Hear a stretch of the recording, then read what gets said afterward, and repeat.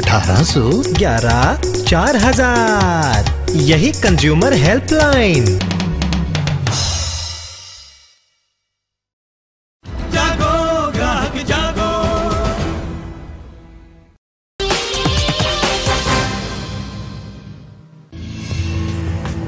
Take a very close look at the pictures coming up on your screen. Blood flows with abandon. Animal bones are lying strewn around. Carcasses are piling up in the hundreds. But this is not a slaughterhouse. It's a factory in Agra where ghee is being made. Yes, you heard that right. The same ghee that you use to make your food. You may think it's the exila of good health, but our story tonight might get you to change your mind. Headlines today national investigation reveals that almost 25% of the ghee being sold in the market is adulterated. This is not just unbranded ghee which is sold in the open market. Adulterers have found innovative ways of pushing this poisonous ghee into packs of big companies as well, which are later sold in big shops in all the major cities across the country. Fat from dead animals, animal bones, and several toxic chemicals. That is what goes into the making of your ghee. But that's not all. Now take a look at the pictures that are coming up on your screen. Chemicals are being injected into these vegetables to make them grow faster, make them bigger and look more colorful. Look also very carefully at where these vegetables are being grown. In most cities of the country, vegetables are being grown usage, using sewage water. And these are the vegetables that you and I pick up from the vegetable market. The water used is so unhealthy that each one of us is being poisoned every day as we consume these venomous veggies. This is a Headlines Today exclusive. Your food is poison. Good evening and welcome. You're watching Center Stage. I'm Rahul Kamal.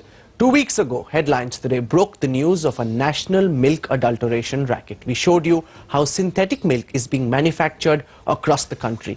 The recipe used to manufacture milk was ghastly, to say the least. Here's how the milk was being made. A few liters of water added to which is white paint. Yes, the same white paint that we all use to paint our walls. Add some urea and mix it well. That's not all. Then comes the detergent. Yes, the one that you use to wash clothes. Well, if you don't have detergent, shampoo works almost as well. Last but not the least, add some refined oil and the white poison is ready to be served. Tonight on Center Stage, we bring you the second part of this Headlines Today special investigation. Your food is poisoned. Is an essential medium of cooking in almost all Indian homes. Its very name evokes the thought of food that smells heavenly and tastes even better. But our expose tonight will make you think twice before you add that dollop of ghee to your meal. That dollop contains bloody parts of dead animals like cows, buffaloes and camels. Do not take our word for it, watch it for yourself. This is a Headlines Today special investigation.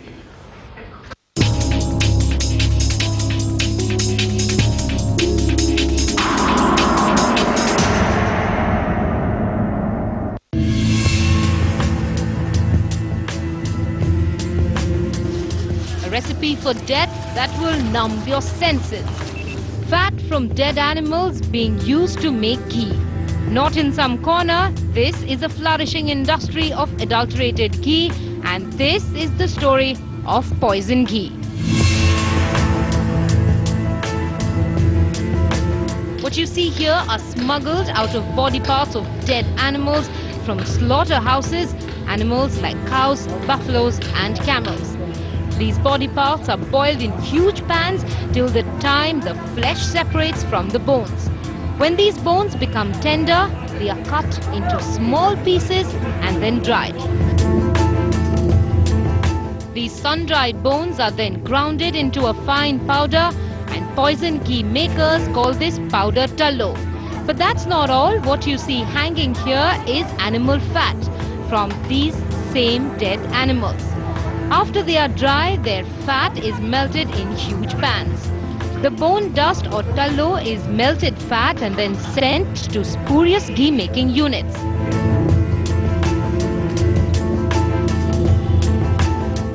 एक तो एक तो माल पकता है उसमें जो खाने का कपड़े धोने वाला सोडा नहीं होता पानी में डाल के पकाते हैं वो भी वाइट होता है लेकिन इसमें क्या है तो इसमें थोड़ी बहुत खुशबू देती है लेकिन तो होने को तो वो भी कामयाब है They are mixed with refined palm oil. The bone dust gives the fake ghee its granular feel and the melted fat gives the required viscosity. Essence is added to manage the foul smell of this mixture.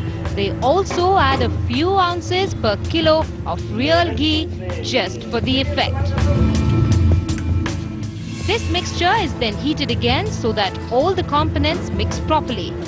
Poison ghee is now ready for packaging and spurious ghee makers are also experts in counterfeiting big brand names. Some of their packages look quite similar to popular brands in the market. They even forge the Agmark sign with perfection. 99% of these causes of these things are because of the adulteration. I think we'll have to deal with it very firmly. The law needs to be firmed up. The institutions will have to be firmed up to, with regard to the labs and the prosecution system should be improved. The ghee that you eat every day with your chapati, the ghee that your mother puts in all vegetables she cooks, the ghee that enters your system through almost all homemade sweets. This very desi ghee is anything but desi. It's dangerously poisoned. We have the proof and now it's on the government to take action before food becomes the next big killer in this country. With Bureau Inputs, Tavleen Singh in Delhi for Headlines Today. What we showed you just now might be shocking, but it is not an isolated problem. Uh, in towns like Meerut, Nagra and several others, contaminated poisonous ghee is made and then it is transported to all four corners of our country. Experts say that no less than 25% or one quarter of all ghee consumed by us is adulterated. That makes it a whopping 1,000 crore rupee industry. Almost 25% of the ghee in the Indian market is spurious. At least 250 units across India make fake ghee. The adulterated ghee business generates a whopping 1200 crore rupees annually. Agra and Meerut are the two big centers when it comes to making fake ghee. It's made from the fat and bones of dead animals. The cost of making one liter of spurious ghee from dead animals is 40 rupees. This finally gets sold to the consumer at over 220 rupees, which makes it an extremely profitable business with huge margins. Headlines today caught one of these fake ghee sellers on hidden camera.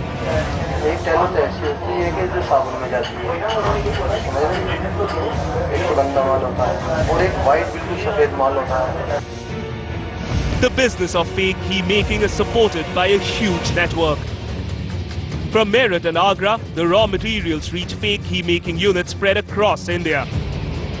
The main centers of making spurious ghee from palm oil and animal parts are Kanpur, Hapur, Gwalior, Bhind, Morena, Vidisha and Indore.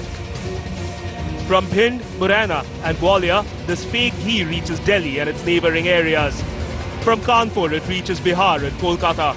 From Indore, it reaches Maharashtra and Andhra Pradesh. Animal fats and bones are used as constituents in soap, but to use them in products meant for internal consumption is a criminal offense. However, this is happening on a large scale across India. Without strong laws to prevent these adulterators, they will continue to serve poison on your platter. With Bureau Inputs, this is Kanhaiya Sharma in Delhi for Headlines Today. First it was milk and now it is ghee. Why is the government not doing enough to clamp down on food contamination? That's our big focus tonight. Uh, joining us, we have Priya Hingorani. She's a lawyer in the Supreme Court. We have Dr. M. Wali. He's a senior consultant at the Department of Medicine in RML Hospital. We also have Shriram Khanna, managing trustee of Consumer Voice. And in, with me in the studio is Deepak Sharma. He's our invest, uh, editor of investigations for Headlines today. Deepak, I'll start with you. You've got a lot of stuff uh, that you've been using as part of this expose. Your investigation team has been working on this for the last several weeks. Take our viewers through how we went about doing it and how difficult was it for you to get today people who are contaminating Aghi. You see, most of the samples what we are lying here on the studio, they're all adulterated. And the story, Rahul, started uh, 15 days back when our team, headlines to the team, they got a tip off that desi ghee, which is priced at 225 per kg, is being sold at a throwaway prices like 150 and 160.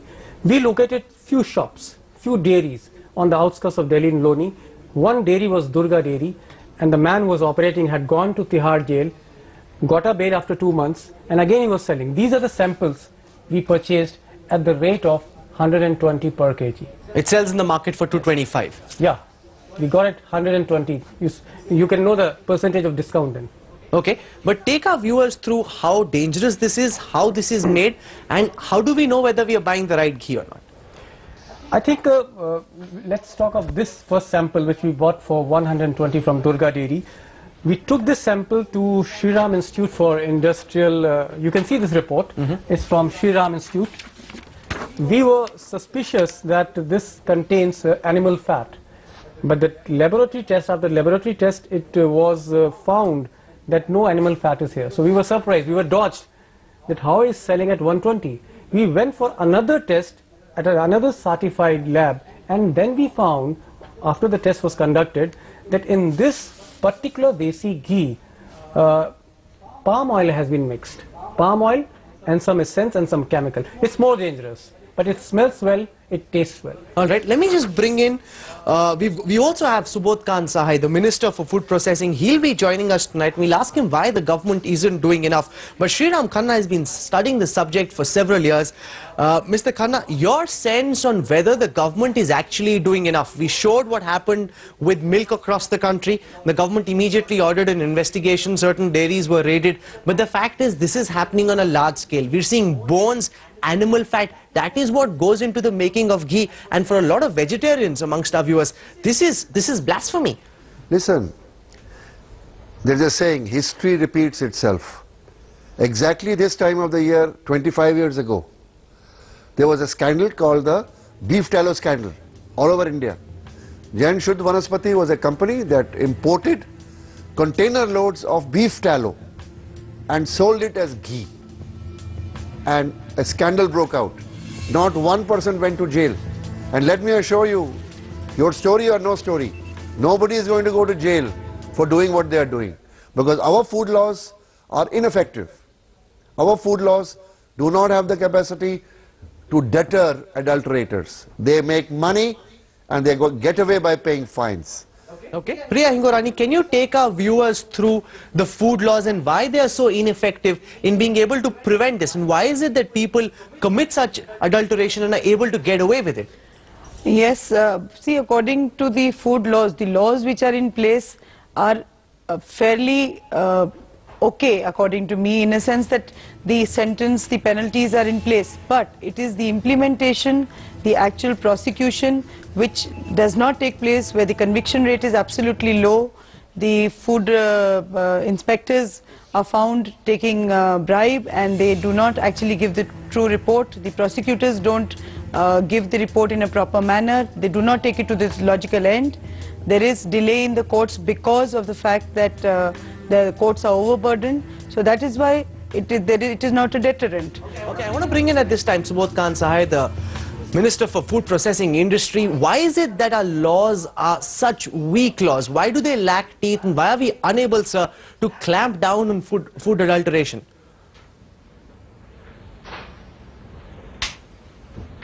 The today's law is not teethless, but more teeth is there. Even a wrapper is being snatched, then you are supposed to go to the jail. Even for every piece. It's not very much practical. But as I said, the contradictory there. Some is saying that you can, you have to put the only sugar in this. If somebody want to put saccharine, he can't do. Sir, so so much contradiction is there. I have seen this law of the different different ministry. So I want to bring to your notice what happened in China. There was a major adulterated milk racket that came to light in China recently. Within months, all the adulterators were sentenced to death. That is how stringent uh, action was taken in China. Why are our laws allowing people to get away? Deepak Sharma just mentioned someone whom they bought fake uh, fake ghee from, who was actually in Tihar jail for a couple of months. He paid a fine, he came out, and he's doing the same business once again.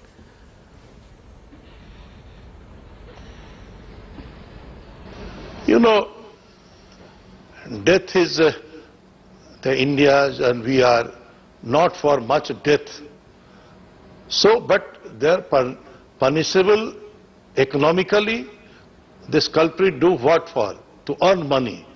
Make them economically bankrupt. Make them punishable for the life imprisonment and all. So there is a provision in the new law, everything, that they should feel that they can't run away. But China thinks is a different, there is a law of their, their own country. They believe in that. We don't believe. I want to bring in at this time Sriram Khanna. He's got very strong opinions on the new law that you're coming out with. Mr. Khanna, uh, the minister seems to believe that the new law will be effective in dealing with adulteration. Is that a view you share, sir? This is the new law. It was published in 2006 August. And Honorable Minister himself is responsible for having the draft prepared. And he also wanted to take control of this law. But fortunately, Prime Minister gave that law for implementation to the Ministry of Health. He was probably working with a good idea that we will liberalize food production. He is the Minister of Food Processing, not the Minister of Health. And in his, in his zeal to promote the food processing industry and being motivated and lobbied by the industry, he made the law so liberal that today we have to have animal bones served in our ghee in our kitchens. It is because of the door he has opened why uh, trying to help the organized industry he has opened the given the signal to the adulterators. Do adulteration sell adulterated food make crores you will be caught you pay a few thousand rupee fine and you can live happily ever after. This is the minister who is responsible for the adulterated ghee synthetic milk being sold in the country today he is not able to protect uh, protect consumers. Okay, okay. Let me let me just bring in uh, Mr. Sahay on this. What is the government really doing to be able to prevent adulteration? What I find most appalling is that our reporters are able to get to this adulteration racket with relative ease. What is it that the government is doing, and why is it that you are unable uh, to unearth such rackets? Almost one fourth of the ghee being sold in this country is adulterated, and your government is doing nothing about it. So far my ministry is concerned, this is year we are observing as a quality standard year of 2007-8. And we are going more and more. But again I will say, we are not enforcer. The state is a enforcement agency and the state must act against adulteration. If they will allow to run away these rascals, I think then any law will be useless. You know, no matter which minister it is, last time we had the Minister of State for Health and he said the same thing, that the states are to blame, do not blame us. Priya Hingorani, as a lawyer of the Supreme Court, how much, how much credence do you give this theory that all central ministers have been, have really been giving us, that don't blame us, it's a state problem, because these guys are playing the blame game and all of us are suffering on account of that. You're right. Uh, the thing is, it is the it is the law which is the law has to be made by the center. The law is made by the central government. The, if the law is made with good uh, with the, the penalty clause and the laws have got good uh, uh, ways to catch them, then it is it is of course the states which have to implement them. But according to me the law in its own self is not strong enough. This is particularly the new act which is coming in in 2006 the act of uh, food and safety act is not strong enough does not have strong teeth. Uh, the penalty clause is of just only 5000 rupees the punishment is only of 3 and the main problem is the fast tracking of these cases. The, there is a provision in the law to have summary trial but how many cases actually go for summary trial? It is very, uh, the law is made by the government, right? But the law has to be implemented in its proper sense, in the proper spirit, and that only the states can do. So according to me, the three things which even if the state has to do, it is one ensure that the the uh, summary trial cases take place, the uh, the prosecution have puts the case strongly, and the punishment, the conviction rate goes up in these cases. Only that can be a deterrent and nothing else. Now, there is a one very pertinent question because Minister is sitting with us and what Mr. Khanna has said. The most shocking part of this story is that despite the NHRC raids in Meerut at the slaughterhouse, we struck a deal with the biggest beef tallow supplier and that is on camera. After even the raids, he has promised and assured us that he will supply 4 to 5 ton of tallow per month. And after even showing it on screen, he is still absconding. He's not being caught. So despite the NHRC guideline, despite the raid, he's on camera and he's saying that I'll give you 4 to 5 tons of yellow tallow, white tallow per month. All right. That is the state of law. That really shows how alarming the situation is. People, even if they get caught, are not worried because they know they can spend very little time in jail, pay a small penalty, come out, and then go about poisoning each one of us. And that surely is something Mr. Sahay will realize cannot be allowed to go on. We're heading into a break, but we're not done with our investigation yet. When we come back, we'll show you how your vegetables are actually being made. They're not coming out fresh and natural. They're being made with the use of chemicals and injections. We'll talk about that and also the medical side effects when we come back. Stay with us. Back in a moment.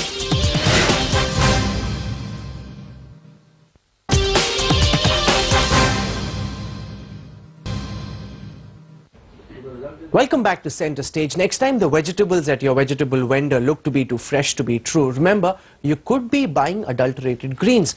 Can you imagine injecting poisonous chemicals into vegetables to make them bigger and heavier? Or cleaning vegetables in sewer water?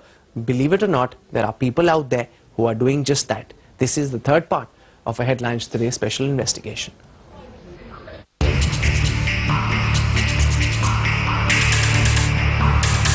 Vegetables being injected with chemicals to make them grow faster.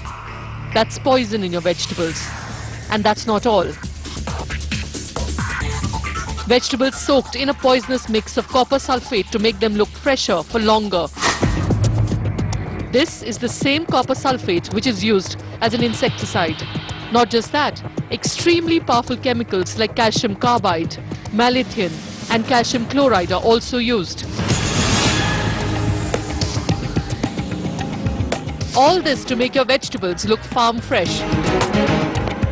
These pictures on your television screen are of healthy looking fresh vegetables hand-picked from a lush green farm.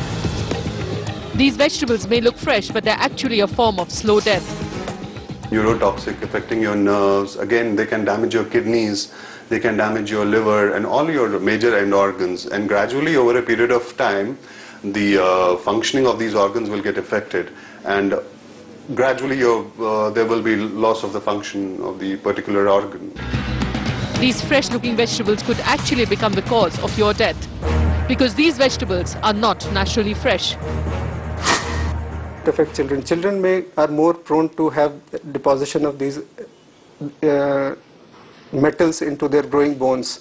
So they, their growth might be affected. They might be having suffered. They might suffer from short stature problem, and it affects bone marrow also because bone marrow is the factory of blood. It produces blood for you, and that gets affected, and people tend to become anemic. There's a huge money making network in place to keep the vegetables artificially fresh. The entire process involves the use of some deadly chemicals.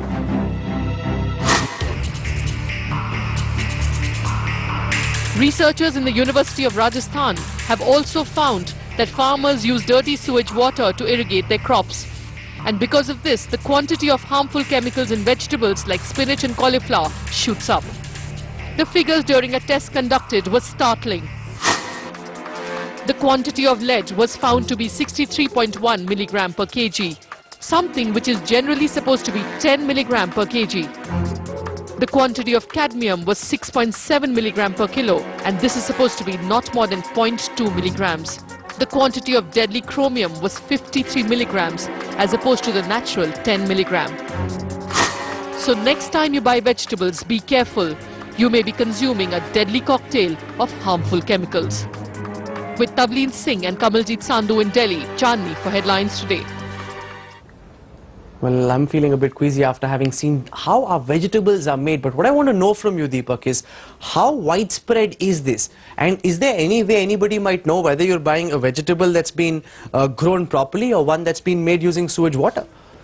What is startling and what is more shocking, Rahul, is that uh, when our team went to the Azadpur Mandi, which is the biggest hub of vegetables, which is the biggest mandi, the biggest market, even these type of vegetables you find there, only the price is throwaway price. But even in Delhi, the national capital, these vegetables are available. And again, we have that on camera. Okay, let me bring in at this time Dr. Wali. He's a senior consultant uh, with the Department of Medicine at the Ram Manohar Lohia Hospital. Dr. Wali, how how harmful are these vegetables? If people are consuming them, how much damage can they do to our body parts? Well, for a long time, people are seeing the damages done to their brain, nerves, kidneys, liver, gastrointestinal tract, and today we have been talking about the marrow suppression. But let me tell you, this is a very small amount of these toxic substances which go to the body. But my intention at the point of time is people are knowing more about these adulterations and these abnormal vegetables not suitable for consumption, but how to get away from them, how to buy the better stuff. We have been telling people to smell the ghee, taste the ghee, test it in the lab if you can, buy a better brand. Similarly, for vegetable, we have no brand, so buy a average looking sized vegetable, not too much green. I call this makeup of the vegetable they do the makeup of the vegetable. So don't buy more beautiful looking this interesting vegetable. point, Dr. Yes. Wali. Uh, Deepak, in fact, has a bottle with him which has some essence in it. Dr. Wali says, smell the veg- smell the vegetable or smell the ghee, and you'll be able to tell whether or not He uh, has it's essence contaminated. which is called butter flavor. Okay, just just wait till Deepak actually shows you what's in his bottle. I think this is the secret, the secret of the adulterated uh, uh, industry as far as ghee is concerned or butter is concerned. One drop in, of this bottle, one drop of concentrate of this bottle, Rahul makes 20 kg of ghee. And this bottle is being available in market and this is the bottle for which these people who are making poisonous ghee are looking for. No, but Dr. Wali says you smell it, you can tell the Yeah, difference. Yeah, yeah, yeah. No, but can you, if you put that essence in it, can someone who's buying it off the market tell whether he's buying real ghee or not? You just smell it yourself. Okay. Just smell it off. Okay, Deepak has said that if you open this, it's going to go Don't to open, just smell it like that. Okay, it smells of ghee. Yeah. There's no question about that. Yeah. So Dr. Wali, on that point, you know, if you have if you have essences like this, which really the whole point of this essence, and Deepak says it's a much treasured commodity in the adulteration market, the whole point of the essence is to fool people, then how does a common person uh, tell whether or not he's buying real ghee? It isn't quite as simple as you make it out to be, sir. We, we have told in one of your programs recently that if you have a small child and five, six months year old, you put that ghee into his mouth, the child swallows or child licks if it is desi ghee. If the child vomits or throws it away, it's, spurious. We have also shown the hydrochloric acid test. Then we know from our childhood the taste and flavor of butter and ghee. If it doesn't taste like this, Fourth is consistency. If too much granular, it is not the natural one. Fifth is that if it is too much thick and it gets thicker on keeping in the cold, it is likely to be spurious or adulterated. These are the issues which we have to check. Apart from this, in the uh, vegetables, we have to see for their size, their color, and their texture. Uh, more large looking vegetables and more darker looking, more greener uh, looking vegetables could be colored artificially. And I've been telling people to boil them, wash them properly. First, wash them uncut, then boil them once, and then take out the second water after boiling them. Don't fear for the vitamin loss, so called vitamin loss you have the fiber and you have the food value. So if this is happening, we have to save ourselves, we have to get our body protected against the harmful medications like oxytocin, cadmium, zinc, nickel, lead, whatever is going with these vegetables and causing the epidemic of kidney disease and causing the liver problems and neuropathy and whatnot. Okay, uh, but Sriram Khanna, in all the experience that you have in dealing with this issue, uh, can a normal person, when he goes out to buy either vegetables or ghee, actually tell whether he's getting the real thing or not, whether it's contaminated or not? You see, our experience is 90% of the people cannot make out because they don't have the kind of knowledge and experience which Dr. Wali has. And if they were, you know, trained to do that, perhaps, you know, maybe 5 or 10% people will do that. But now look at this situation. In the year of our republic, huh, so many years after independence, the citizen of India has to learn how to make out adulteration on his own while the government budgets have been invested in public analyst laboratories in every state. Every state, including the city of Delhi, have laboratories whose job is to get samples from the market and test them and find out where adulteration is. What the hell are these labs doing? When, why, why are we being told to do it ourselves? Is the government not going to protect us? You make, in fact, the person on your screen right now, his name is Dilshad and he is a person uh, the police of several states is looking out for. He's the one who supplies contaminated ghee uh, to Delhi and several other cities and Deepak tells us that despite an NHRC notice that he be arrested, he's still out on the out on the loose and he's offering your reporters that he'll sell them, uh, he'll sell them tallow in large quantities. Rahul, if had, suppose if he has been on run, then okay, fine.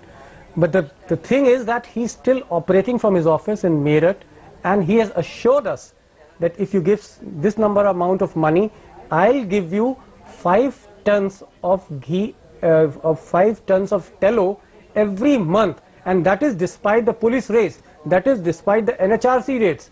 He's still operating. That is the most shocking part. And that really shows in a way, Sriram Khanna, how serious or non-serious the government is in, in, in really tackling this issue. Because it's a slow death, because there is no immediate side effect of this, the government just, for example, this person whom you just saw on your screen, he's actually out in the loose. There's a lookout notice for him. Deepak says he's operating from his office and the government is doing precisely nothing about it. Mr. Khanna? Yes, you know, I'd like to say, you know, I'll recall you know, I mentioned about the beef tallow scandal 25 years ago. Today, the same thing is happening. History is repeating itself. Nobody went to jail then. Uh, let me guarantee, nobody will go to jail now. Another example. Five years ago, in the, in the national capital region, 55 people got killed because of mustard oil poisoning, argemone poisoning. Not one person has been convicted till today. The government is working under pressure of food producers who want liberalization. Mr. Subodh Kant Sahay is their leader, heading the food and processing industry. And by liberalizing these laws, in order to promote the industry, you have opened the door for people like who are on the screen, who are going to make so much money and become millionaires pay a few thousand rupees fines and live happily ever after. This is something which cannot be allowed to go on. It can't be so simple that you go into jail for a couple of weeks, pay just about a thousand rupees. That's what you said the fine One was. more point I want to add, very important point. During our investigation, we came to know that a task force was made which collected samples from Madhya Pradesh, Uttar Pradesh and Rajasthan. 250 companies, 250 companies manufacturing uh, this adulterated ghee, they were found, their samples were tested. These companies 250 companies in Madhya Pradesh, UP and some other states. No action has been taken against these 250 companies till now, till date. Yeah, surely the government has to do something. You can't just pay a fine of a couple of thousand rupees, get out and get on with life as if nothing changed. Well, uh, if you're a vegetarian like many others in the country, dal chawal would be a staple diet for you. Uh, but we have some really bad news. Your favorite arhar dal is not as safe as it used to be. Adulterators are mixing it with toxic variants of that which look exactly the same. This is a Headlines Today special investigation.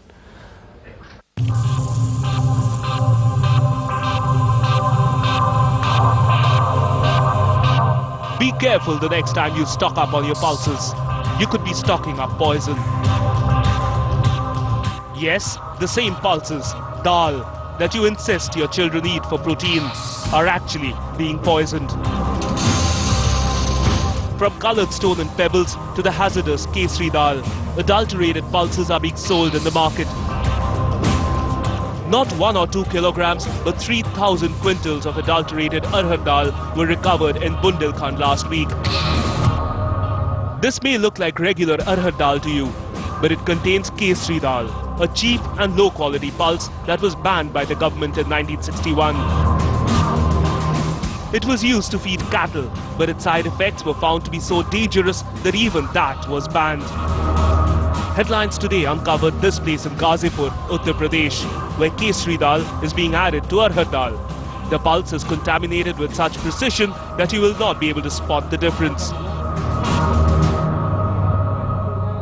ये खेसारी और मटर को polish करके मशीनों द्वारा polish करके उसको ऐसा बना देते हैं जैसे लगता है देखने में कि अरहर की दाल है और उसको मतलब अरहर की दाल में अपना मिलाकर जिसमें पचहत्तर परसेंट ये मटर और ये रहता है और पच्चीस परसेंट अरहर की दाल रहती है जो मंडी में आकर यही सब बिकती है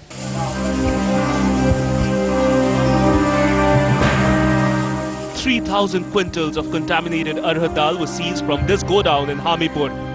This too was contaminated with kesri dal.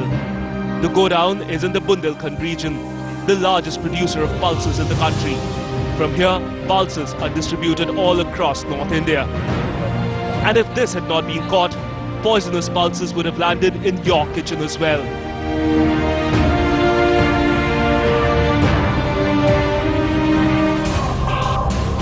If you're wondering why arhar dal is mostly contaminated with kesri dal, here's why.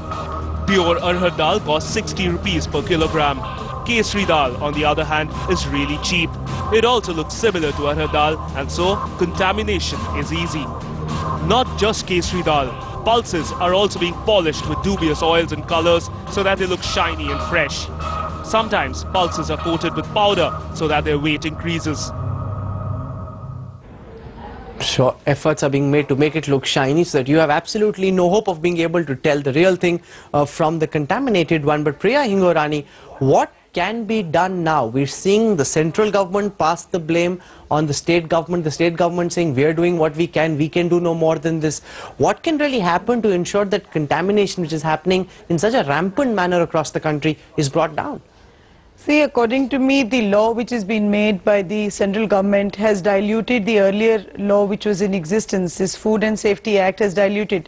Now, earlier the onus was on the manufacturer or the supplier or the seller to prove that he has not, uh, been, there's been no adulteration. But now it is now on the poor uh, consumer who has to prove that he has not fallen ill because of this or he had fallen ill because of this. So according to me this law really needs a, a relook and uh, stringent uh, provisions must be brought into it and there should be uh, punishment up to life imprisonment. As far as the central government is concerned, I think this law which is being brought out from 2006 needs a relook into it. Right. Is that something that we have agreement on? Dr. Wali, what's your view on this? Uh, the government saying that we are not China, we can't go out and hang people.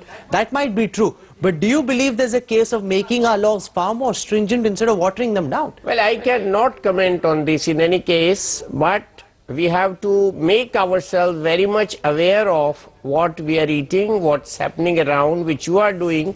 But let me tell you, I give an example of the tallow. Tallow is being used in leather industry, in polish industry, in making some other items where we require tallow. But if people will start mixing it with the edible ghee, where do we go? Where are we going? So we have to do our own introspection, society's own introspection, and we have to learn what to eat, what not to eat in the given day. You see, giving punishment is not ending the problem at all. We have to learn how to recognize the good food, how to eat the proper food, how to wash away the toxic material, what could be in like somebody is making a vegetable green. You you cannot catch him because he has made it green miles and miles away from the place where it is being sold and you are buying from. So you can do you are helpless you can just wash it. If a person is mixing a, a color in the almond uh, seed almond almond seed then it is geru, what is called a red colored powder, and soaking it into the water, soaking it into water is to increase the weight, is not adulteration, is not. I mean, things are done in such a clever way. Kesari dal is polished in such a clever way that you cannot spot it. The other dals are being uh, adulterated in such a way you cannot spot it. So we are in a very, very, very, very deep dilemma and we have to know how to fight it out. Okay, that's something that I think there is agreement on. Uh, we might not be China, but we need to take stringent action against those who are caught so as to ensure that others get a very strong message that they cannot get away by poisoning us through our food. For the moment, Deepak Sharma and to your team, congratulations for having put this together. All we hope for really is that the government acts on this. Last time we put out the story about milk, there were raids across the city, in several cities in fact. The health minister in Delhi said uh, she will go personally. That really did happen, but that needs to be sustained. It cannot be something that happens just for a couple of days and then everything is forgotten because these people, as Deepak pointed out, go into jail for a couple of days, they pay a small fine, they come out. I just want to interrupt you. There were 250 companies making such type of poisonous ghee. When we made a random checking, one company was Swag, which was making ghee. When we cross-checked the address, the address given on the on the on the label, we found a construction company was running in Sagar, a constructor. So how a construction company can make, make ghee? So absolutely. Isn't it a strange country? It's not just about making the list, it's not just about saying the right things as Subodh Kant Sahay did on I the show tonight. add, What we need About, it's also about buying protection. Huge amounts of money is paid as bribe, as regular haftas, for to the people whose job is to stop it. And their job is to stop it, they take money, they look the other way.